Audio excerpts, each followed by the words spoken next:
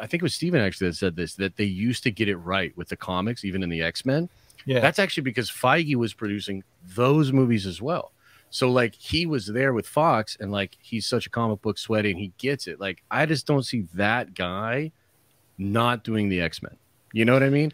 So I hope you're right. The the, the other factor hmm. in there too, of course, and and this is where a lot of things that we've observed seem to change is when Feige and I think Victoria Alonso had a lot to do with this as well. And I think you're totally right. She was definitely a problem, um, but I don't think Feige was necessarily the end all be all savior. When they managed to run off Ike Perlmutter and get Disney to sidecar him, yeah. and then eventually Disney, of course, as part of remember last year as part of the layoffs, they threw Ike Perlmutter out the door. Yeah, yeah. mean- they they even removed him from the board, right? This is well, he wasn't Yeah. on the Disney board. He was Oh, okay. chairman of Marvel Entertainment, which was basically nothing.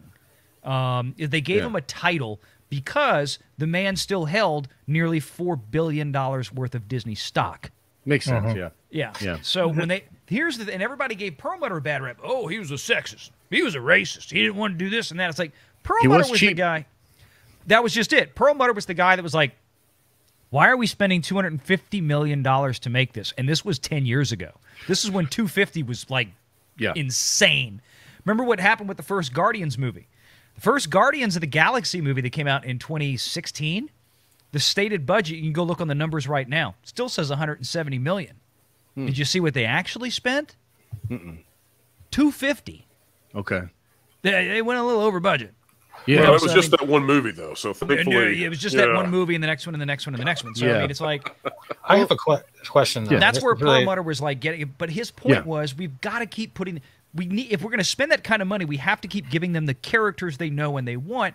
Yeah. And he was pushing against the Alonsos and I think the Feiges to a large extent. They're like, well, we want to bring in Captain Marvel. We want to bring in. Uh, we want to bring in all these other Disney-made characters that since Marvel has brought it out, or since Marvel bought out, excuse me, Disney bought out Marvel, pardon me, Yeah. and made things like Riri Williams and all this other kind of stuff. And that's when that's when he was kind of like, we can't. That's that's not going to work. That's not going to work. And then oh, he was a racist. He was a sexist and all this. And people turned around and said, see, Ike Perlmutter was wrong because Captain Marvel did a billion dollars, and it's like Sure, yeah. you could have put two hours of footage of a dead blind monkey on Yeah. screen right before Endgame, and it would have made a that. billion dollars. I agree with that, but I'm sorry. would you not say that that's brilliant programming? Because like Yeah. to me, I love dead monkeys. to be able to do that, that. like like seriously though, like because I I get it and I'm with you on this, but here's the thing: It's dead and it's Like- blind. I'm sorry. He I killed Pro. I'm Can sorry. you make a wish? it's like No, no, but you. I agree well, with you, but like the thing is, that's programming. Like the thing Right. that we're not saying with that statement is people cared so much about the overall Marvel story and That's what it. Marvel had built that they were willing to watch Captain Marvel Right. and you know the blind monkeys so that they could like have a just a little bit more of that lore. So like I I totally agree with you, and I think one of the things that's interesting about Feige, and this is one of the things I can't quite monkeys. figure out for myself, Mhm. is like, well, what is this guy the actual one that is making these decisions that again I think are are literally screwing up representation, or is he just susceptible to the culture, and is he susceptible to people like Victoria Alonso? Because like as for instance. Um, I think it's a when fair it came question. to uh, the Eternals, right? A lot of the things that I've heard from behind the scenes is that Feige and uh, Zhao fought a lot on that Mm-hmm. movie. He ended up um, just letting her win. Mm-hmm. Okay, which by the way, I've heard she's not coming back from the next one, right? So that's Which I still can't even believe that was even on the table to make another one of those damn It's things. weird. It's weird. But that to me is what has me questioning like what what what are they thinking? yeah. Like well, and that's the kind of thing that to me like there was if Ike Perlmutter were still sitting there and had had co-authority with Feige like he used to up until uh you know 2016 2017 Yeah. um there was there'd be no way that like they wouldn't have made the first Eternal movies and there was there would be no talk of Eternals 2 it's like y'all sure, nuts sure. But here's here's what I'm saying. Here's like my point, right? Mm-hmm. Is like I feel like Feige like knew his way was better, Mm-hmm. and he allowed a lesser product to come out because he didn't want the perception of white man telling woman of color how to direct her movie, which, by all accounts, was exactly how he ran the Infinity Saga up till Endgame. He was like, pu- he was like hand up their ass puppeteering these people. Right? Mhm. There used to be jokes about how when you went to go direct a Marvel movie, you were at summer camp. Because Yeah. essentially they had the action scenes already done. There was actually a different unit that would shoot that. You weren't even going to shoot that. Yep. Um, the script was not even finished, but they had ideas, right? And so like he had this ironclad control. And then in phase four, it seems like he, because of the culture and the perception, like again with She-Hulk, like I think about this all the time because um, you know, like there were some really weird interviews that came out where I forget the lady that did uh the She-Hulk show, but she was talking about how the only note that Feige had on the finale was he didn't think the robot should have had a hat on. Oh yeah, the, Oh, the Feige hat So on the. and I'm like, eh, I'm like, eh, look, look, I've been following this dude for like 15 years, maybe 20 years.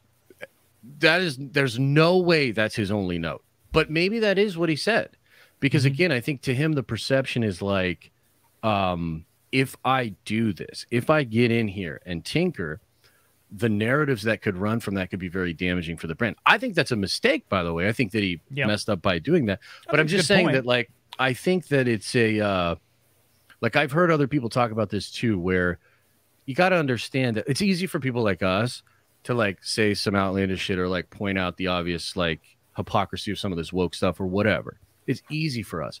If you're in the game, if you're in Hollywood, I don't think it's easy for you. You know what I mean? Like, I feel like there's a lot of pressure supposed pressure from outside forces, but a lot of pressure internally as well to like make those decisions because of that, which I think is wrong. And I think you should make decisions based on merit. But all I'm trying to say is that I think it's actually understandable, especially because a lot of the stuff was produced, what, like two, three years ago? Mhm. Think about that time and how crazy things were politically. I actually don't necessarily blame them for making those decisions. And I hope and I would hope that there's a way for like the fandom to like push back and basically be like, nah, dude, like that's bullshit. Like you can't do that. Like you can't just do it for the optics, right? Uh, and what I've heard from behind the scenes is like, yeah, that is an idea that's permeated, possibly why uh, Victoria was let go because Feige knew that she was going to get let go. And the way I heard it was he would normally have stepped in Mhm. if there was if there if he wanted to protect her he could have stepped in and protected her and he didn't um so yeah for what I it's don't worth think he that's had kind much of of an take option at that point because uh, somebody had to fall on the sword, right? Yeah. And Victoria Alonso was for a very long time. She was the uh, I can't remember the exact title, but you know, president in charge of post production in VFX. yeah Well, we all know the disaster stories that we've heard in the last several years about the complete mismanagement, particularly on the post production side uh, of things, to where they were going back, they were ordering reshoots, they were they were working VFX artists double, triple overtime. Marvel was the most hated and despised name in the industry yeah by post production VFX workers and all these third party houses that they would hire to come in and do this because they were so disorganized. They were such a mess. And Victoria Alonso's name was the cuss word on everybody's tongue in those in those offices. So somebody had to fall on the sword, and I'm sure Kevin at one point was like, well, "Damn sure ain't gonna be me." so Oh, yeah, even sure. though he was the head honcho, but it's like somebody's got to go, and it's going to be her. yeah Uh, and and it was like she was an easy one to just throw on there because I think they even changed her title at one point to president of physical production and post production. yeah It's yeah, like yeah. nobody else in Hollywood had that title. Nobody else would have both. But it's like they threw her in that hot seat with the deliberate intent of you're done. And we, it was mm-hmm. a setup for. Now, again, she was already a mess, and then Disney just had to sit there and wait for the proper impetus to throw her out the door. And what did they say? They didn't say that she was a horrible person in the office, that was a terrible mismanager of billions of dollars worth of assets, destroyed the budgets of countless Marvel films, yeah basically this woman didn't know what she was doing they couldn't say that right which would have been the truth hmm. They went with well she violated her contract by working with what was it amazon or netflix on some pet project Amazon. amazon, and she wound up doing promotion for it by walking down the red carpet at some show instead of with Disney. I guess it was the Oscars. That was, uh, by the way, that was the self documentary that was intended to kind of create separation between her and her dictatorial lineage back in Argentina. So she's Right. uh, she's got a colorful background. yes, quite. I didn't know that. I did have one thing to add. This is going back to So the, anyway, to that, the- that's what Disney used to fire her was the fact there was a breach of contract by promoting another project with another studio.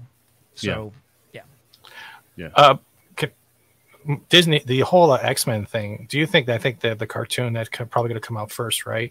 Yeah. That's going to be our clear signs of where they're going with X Men, because we've seen that when the show was first announced and how some of the producers behind it were putting their values of polit- political, trying to make Yeah. it for this day and age. I got worried, and I've seen we've seen some of the cell animations and some of the character designs. They're not too off, but they're not too right. But Yeah, that's for sure. That's the stepping stone, and that's where we're going to learn. That's what's happening with every show. Excuse me. we're seeing this same method with every show. They're testing the waters to see how much they're getting right, how much they're getting wrong, and then when they realize it goes wrong, we're still to blame, but they're getting slowly, I guess, better, or they're just trying to make it mediocre through. I don't even know what the good product is anymore. Yeah. It's it's nonsense. Well, Yeah. X Men, it's kind of interesting because I think, as far as the show, obviously can't speak to it, right? I've heard mixed things, but I will say that X Men in general seems to be a brand that not only Marvel Studios but Marvel Comics Mhm. is like doubling and tripling down on because like Marvel Comics is in a really bad spot too. Oh, and they yeah. just put Tom Brevoort, who was traditionally like the Avengers uh, editor, on X books, which was like a sign of like, oh, they're they're going hard on X books. So I would expect with Marvel Studios and with Marvel Comics for X Men and that brand to be pushed uh, a lot. Um, as far as the show itself and like the uh, you know you know the producers, I actually used to follow that guy. I think his name is like Beau or whatever. So this is what's weird about that. It's like everybody remembers him saying that he was putting his experiences of being a, a gay black man into the show. But No, that's not what I nobody- was. Sorry, Okay, sorry. it, it was you the whole his whole Trump dissertation or something like that. I think it was. Oh, so I'm that. not. Yeah, Yeah. I'm not familiar So I- with that. Yeah. So pretty much, it, it has nothing to do with that. It's just there's that was the article I read, and then that, that doesn't really bother me. But it's like, why are you voicing this right after the announcement? Why is it the Hmm. constant thing going? Here's my love of the property. Here's why I'm attached to it, and not Sure. focusing on any of those things. They always seem to have the same repetitive thing. And I'm not saying it's a bad thing, but we're seeing a constant history of Twitter outbursts and media outbursts where the, the company must be going, who didn't put the muzzle? On the actor or oh, I agree. producer at the time, and it's that's the stuff I follow, and it, I and totally, I totally get that. Yeah, no, I totally get that, and I agree with you. I think PR, this is a PR thing to me, Yeah, and it's like you know Disney's PR has been trash for the last three years, but this Beau guy used to work on The Witcher, and he left The Witcher because he said the people were disrespecting the source material. He literally said, "I didn't bring anybody onto the X Men unless they were a fan of the original series." He's on record Oh. saying stuff like that, so it's like, I get it, man, and like, dude. Trust me, Protective I, I nature. hear these people say some stuff, and I'm just like, "Yo, shut up!" You know what I mean? Because I'm at the end of the day, I'm at, in some ways like I feel like I have to sort of try to carry the torch for this shit, and I'm like, "You're making my job really difficult." But I do think, and I think it's fair to bring up that it tends to be a focus factor because this dude Yeah, literally seems like- said, "Yeah," because he literally said like, "Like we all get that why Henry Cavill walked away from The Witcher. We Yeah. all respect that choice. We all understand that. Like, yes, it should be fans." He said that too, but it's just the lensing of modern media tends to focus on the stuff that's a little bit more Well, uh controversial, if that Yeah. makes sense. I would like to add that, like, even though I, I state these things, that doesn't mean I automatically am antagonistical or hateful towards the individual. I mark the actions versus the, the person itself, right? Because the actions do build a persona. And if it's whether it's your social media manager or not, Yeah. the responsibility falls on why are you doing stuff like this or why are you just showing that? So I don't Oh, hate this person because of those comments. I'm just saying I'll still look at the cells, I'll still look at the scenes. I still watch every show except for Andor to make my own criticism. Because then if I don't, my criticism is invalid no matter what because I'm going off assumption. And I'm not that Yeah. type of persona with that. I think a lot of people need to focus on the pros and cons. Josh, let me ask you a question about Feige real quick. I know uh, Yep. we've got to get to these super Sorry chats. One of the things that I have always thought about Feige is that he has ambitions that are even higher than Marvel. And that's kind of what I think happened with Phase Four and Phase Five. Is I think that he was test piloting the idea of what would happen if he went higher up in Disney company, which I Yeah. think that's really his passion. I, I think that he loves the Disney company, the Disney brand, and I think that he would like to be higher up and sort of filling in uh, what Lasseter was for a little bit. Now there was some pushback because for a while we were thinking that Jon Favreau might do that as well, but I think that Feige, uh, because of his ambitions, it makes him perhaps over the only division that would course correct inside Disney, or one of the only, because yeah. his persona and his legacy is precious to him, and he is not he is not joyful to fail whatsoever. And yeah, regardless of what the social push might be of the time, in Kevin Feige's mind, Feige comes first. What do you think of that? Yeah, no, I'd agree. I think um like uh, you know i keep going back to this victoria alonso thing and it's just like very like we don't know the full truth of it right? But i uh, there were rumors that he and there was the big three. So it was like him nate moore louis d'esposito and um, victoria. So apparently they'd been beefing for years. And, and i don't know to what extent but i think you're right in the sense that Feige is certainly looking out for Feige first, and a lot of people don't talk about this, but he's absolutely cutthroat behind the scenes, and that's that probably feels weird to say, but trust me, like I've heard stories.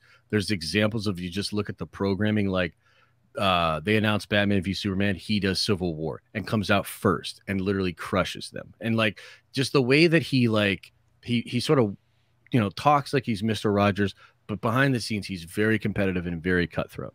So i think you're right in the sense that yeah he's absolutely looking out for himself which i think we're kind of in agreement is is like going to end up being a good quality because he's not going to allow this sort of rubbish to kind of like drag him down. And so like yes i do see a scenario of turning this around because of that. But i don't know that that i don't know if i would agree that he was so focused on um, being John Lasseter or Alan Horn or whomever. I think he was actually potentially looking at branching into Star Wars and Secret Wars was his whole thing. So I think immediately after Endgame, he starts planning Secret Wars, which by the way was supposed to come out in 2024 before the pandemic. Mm-hmm. He was going to do Secret Wars in 2024. So he was going to turn around and bring Hugh Jackman, Tobey Maguire, all these cats back and do like one last like big hoorah Go through the portal. Yeah. Yeah, yeah. So then I that was his mentality. I absolutely agree that he delegated and he delegated way too much. And that's like the problem that we're in is like he just he delegated too much while focusing on Star Wars and Secret Wars. Because again, like if you think about the Marvel process, and you know, I've been following this stuff intimately for like a long time the idea that Marvel writes scripts is just crazy. They don't. They have ideas and they work them together. Iron Man 1 didn't even have a completed script when they went to shoot it. So they are always scrambling, and that's always been their way. That's the difference was them, yeah. Well, it's been a problem, but it's also been a formula for success because they they did that all throughout the Infinity Saga. The difference is the scale was so much smaller back then that he was able to literally puppeteer every one of these movies and something changed where he did delegate and uh, i think to a large degree the delegations were a major problem. I mean there's so many of these that don't feel like the marvel projects that we had in the infinity saga right? So i mean you know it's weird because i'm also at a place where like i think he still owns that. I don't think he gets off the hook because that's ultimately his decision